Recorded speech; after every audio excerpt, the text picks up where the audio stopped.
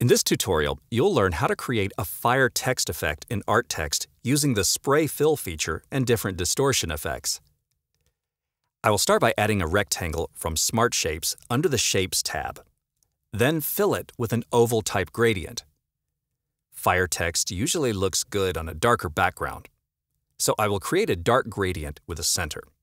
For this, I will add three gradient color transition dots. You can find the exact color parameters and all other parameters in the text tutorial on this page. To create the background glow effect, I pull the dark red dot somewhere one-third of the way from the black one, and the red dot two-thirds of the way from the black one. Now let's move on to adding a text and working with it. To add a text layer, I use the plus button in the bottom ribbon and then click Add 2D Text. Once a default text is added, I will change it to Fire in the Text tab of the inspector and change the text font to Avenir Next Condensed Bold by pressing the Font button and selecting the necessary one. I will also increase the kerning to spread the letters slightly. Once I'm done with text formatting, I can change its color via the Fill tab of the inspector. I will use the red color, the exact color parameters you'll find in the text tutorial. The distortions effects can be applied to 2D text only, and they modify the text object contour.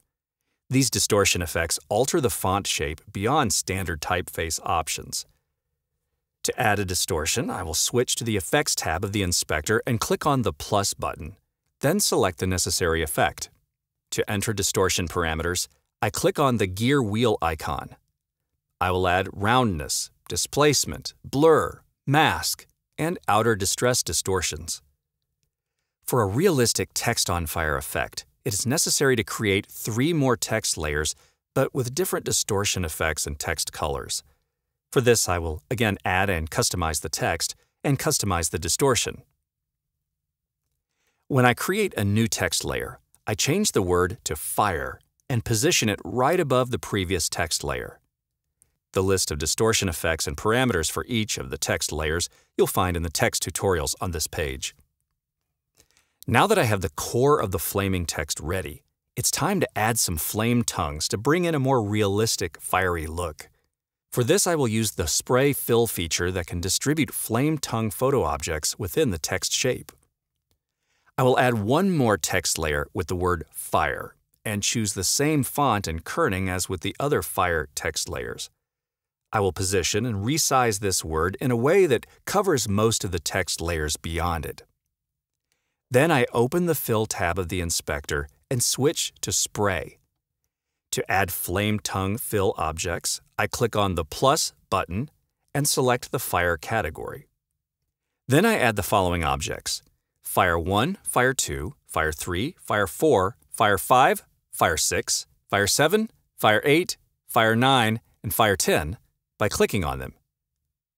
Once done, I can move on to adjusting the spray fill properties.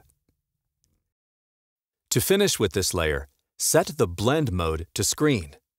Use this blend mode on all but the fourth text layer, where you should use Addition Blend mode. There you are. The Fire Text effect is ready. Now, if you select every text layer in the Layers panel, you can easily change the Fire word via the Text tab to Flame, Hot, Love, or any other word you want.